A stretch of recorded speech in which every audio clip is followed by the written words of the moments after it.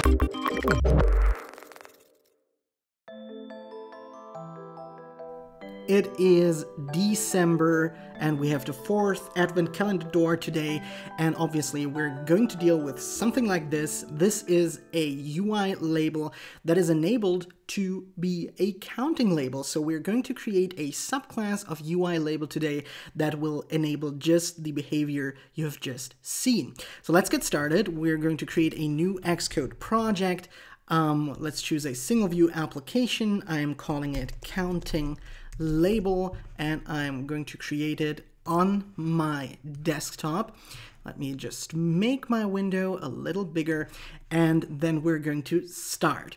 So obviously a label is a pretty simple UI component. You will find it, of course, in the um, uh, in the object library in Xcode in Interface Builder, uh, but the label by itself is not able to count. And sometimes you want, for a situation like um, you want to count all of the photos that your users have in their photo library, or you want to count all of the posts that your users made, or whatever you like. So you have plenty of use cases maybe for a counting label, and we're giving this ability now to the standard UI label by just creating a subclass. So I'm pressing Command N on my keyboard. I'm choosing the Cocoa Touch class. I'm going to call that counting label. And this is going to be a subclass of UI label so that we get all of the behavior and all of the functions of a UI label. And here we have our subclass we are inheriting from UI label and what we can directly do is go into our storyboard, selecting our label here and choose our counting label as a custom class in the identity inspector. So I'm entering counting label right here. And at the moment, this label isn't able to do anything else but a UI label, but this is something we're going to change right now. So let's open up the counting label.swift file and remove the template code here. We don't need that. And then we can start with our class implementation. And first of all, we are going to need some properties. So I'm starting off with a start number where we're starting our counting and this is going to be of type float and I'm defining that it um, that way with explicit typing so that we can work always with floats in our case and we also define a end number also a float and we're initializing it here directly. Then what we also need is a progress, which is a time interval. And we're also going to need a duration for the animation duration if you wanted to put that way. And we also need a last update property, which is also a time interval. And we're going to need the last update property to know when or to calculate later when our animation is finished because we're using a timer for that. So let's also create a timer property. This is going to be optional so that we can set it to nil later to invalidate the timer. And then what we also need is of course a function that can be called to start our counting animation. So I'm sim simply calling this function count, and then we are going to have a from value, which is a float, and we're going to need a 2 value. So I'm going to uh, write a 2 description and a 2 value, which is also a float. We have a duration, so another description with duration. This is a time interval. We're going to have an animation type so that we can decide if we want our counting to ease in or ease out or to be linear. And let's simply add an animation type here, which is going to give us an animation any animation type, which is going to be of type counter animation type. And obviously we haven't defined that yet, but we're going to do that in a second. And we are also going to have a counting type. So we can decide if we want to count with integers or with floats. So again, we have a counter type here uh, count and counter type, counter type, not counting type. And then this is going to be of type counter type. All right, so this is going to be our function, our main function here that we're going to use. And obviously we have to define the counter animation type and the counter type. And we're going to do that with two enumerations. So we have an enumeration um, let's call that counter animation type and I'm simply copying that here pasting it right there and then we're having three cases we have linear we have the case ease in and we have the case ease out. And then what we also need is a counter type. So again with enumeration counter type and we will have an integer and a float. And with that, we have all of the types that we need, and we can actually start with our count function. And what we want to do first is actually initializing all of our properties here, since we do not have an init function for that. So we're starting with self.start number, we are setting that to the from value. We have self and number. This is the two value with self duration, which is the duration from our function. We have the counter type, which we do not have yet. So let's also create that. So we have our timer and we also need to know what counter type we actually have. So let's create two properties for that. We have a counter type property, which is type counter type, and we have a counter animation type, counter animation type. And with that, we can now initialize that. So we start with the counter type, which is counter type, and we have counter animation type, which is the animation type. And then we can set the progress to zero, and the last update of our timer is going to be date and time interval, not data, but date, time interval since reference date, with which is uh, January 1st, 2001.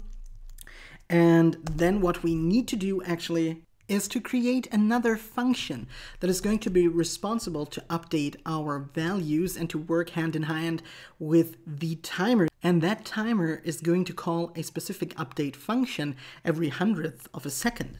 And let's add this update function right here below our count function. I'm going to call that update value. We don't need any parameters here, but what we need is a now constant that gets the current time interval since these uh, since this reference date. And then we calculate the progress of our count animation by taking the current progress and adding the difference between now and the last update. And with that we get the progress and then we set the last update to now and with that we can efficiently deal with our timer and we know when we can actually invalidate the timer. So we uh, add an if statement here with the progress and if the progress is greater or equal to the duration then we know that we can actually invalidate the timer. So let's call another function here invalidate invalidate timer that we're going to create and then we set the progress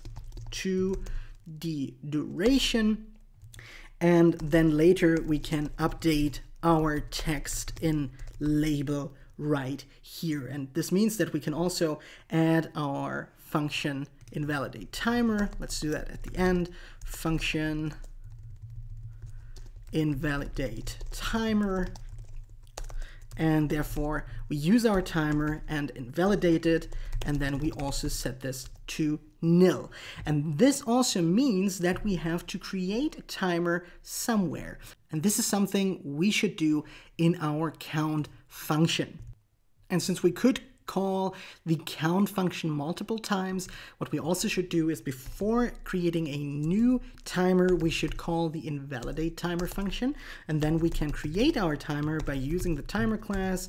Then we use schedule uh, timer with a time interval, a target, a selector, and so on. So the time interval is going to be a hundredth of a second, target is self, and then we call our update value function every time the timer fires that function. So we're using a selector here, using our selector keyword, and then we use the counting label class, counting label and call the update value function. We don't need a user info, but we want our timer to repeat until we invalidate it.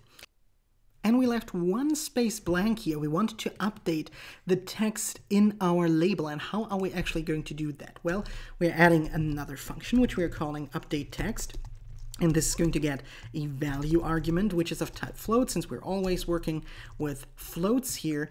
And then we can switch through our counter type and later call this function. And if we switch through the counter type, counter type, then we have to unwrap this. And then we have our first case, which is an integer. And we do not need a default case, but we need a float case. So these are our two cases, and all we need to do is use self.text, which accesses the standard text property of a UI label. And since we are inheriting from UI label, that's not a big deal. And if we want to display integers, all we need to do is using string interpolation and casting our value to an integer and all that's all we need to do here and for a float we use self.text again we're not simply adding a string and uh, use string interpolation to add a value. We're using string with a format since we also want to display decimals. And therefore we use the format percent dot to f which tells the format or the value that we add here that we want to insert our value here with two decimals. And that is our update text function, and since we're just dealing with updating, let's also add the last update function, which is going to be the update counter function, which uses a counter value, which is a float, and also returns a float. And we're doing this because we have three animation types, actually. We have linear, which would be something like a linear equation, like um, f of x equals x uh, we have ease in, which would be something like a power function like this. So this would be the easing in, and this is a function like a, or a power function with f of x equals x to the power of 3. And here we have an ease out function, which would look something like this, which kind of slows down um, when it starts reaching the x-intercept. And this would be a function like um, 1, 1 minus x to the power of 3. And actually, this exponent is going to be responsible for the velocity, so let's create a counter velocity constant here, which is also going to be a float, and this is going to be 3 0.0. So this is going to be our exponent here for our function, and this is what we are going to use. And therefore we scroll down here a little and we create our update counter functions. So we switch through the counter animation type and let's simply remove the default here and we're starting with the case linear and since we're um, returning what we're getting in, we simply add return counter, the current counter value, and we're done with the linear animation type. Now let's see what we have to do for the ease in. So here we return a power function. So we use power and we want this to be a float. So we use power f and this is the base count is our counter value and the exponent is 3 just as we've seen earlier. And and we do not want to return counter type we want to return counter value here. And for ease out we have ease, the ease out case. And here again we want to use our power function with the float type. And this time we use 1.0 minus our counter value to the power of 3 or actually we also defined our counter velocity here as a constant. So let me also replace that here. So we have the counter velocity. And to make sure that the sign is correct we add 1.0 minus our function here to get the correct ease out uh, coefficient actually that we're going to use uh, in a second so now we have created our update counter function, we have created our update text function, and we have created our update value function where we still have to call our update text function. But what we still need is the current counter value, which we have to uh, calculate or we have to use at least a computed property for that. So we add that property right above our count function, and I'm going to call that current counter value, and this is going to be of type float, and then we add some curly braces to add our code here. And first we can check if we have actually reached the end of our counting animation. So we check if the progress is greater or equal to the duration, then all we have to do is return the end number. And in any other case, what we want to do is calculate the percentage with float and we use the progress and divide it by the duration and that we're going to use for our updated or for our update counter return type, which is our update um, constant here. And here we simply call now the update um, update counter function and pass along our percentage. And this gives us a coefficient that we can use for the current counter value. So we use the start number and then we add our update coefficient. So update times the end number minus the start number. And this enables us to have those uh, different animation times, linear ease in and ease out. And now we can actually call our update text function here in the update value function. And therefore, we simply use update text. And then for the value, we use the current counter value, which is, as you know, a computed property.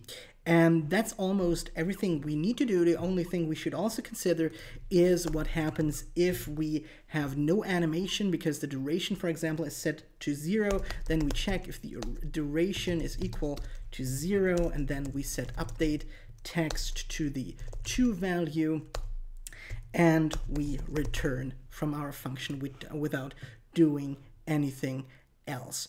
And that should actually do it. Now we can go into our view controller or into our main storyboard, maybe resize our label a little bit, put it in the somewhere in the center, change some attributes here, maybe center it, increase the size a little, and maybe also set it to semi-bold and also make sure that we have the auto resizing mask set correctly so that our label is always centered. And then we bring up the assistant editor and control click and drag it to our view control. And I'm going to call this counting label. And then we go back to our view controller. And then so that we can also see what happens, I'm adding the view did appear function here and call super view did appear and pass along the animated argument. And then all we need to do is use our counting label and call the count function count from maybe from 0 to 999 or 9999 and then let's say 5 seconds with the animation type ease out and the counter type integer and then we run this in the simulator and see if we successfully have created a counting label in less than 20 minutes. So here we are, see what happens, and we're counting upwards, and it slows down, and it slows down more. And now let's see if we reverse that. We count from 999, uh, from 9,999 to zero. Let's say duration of 10 seconds. Again, ease out and maybe use float here. And let's see what happens then. So we are in the simulator. Let's run this. And we start here. We have our floats. We're going down. And we're nicely easing out here.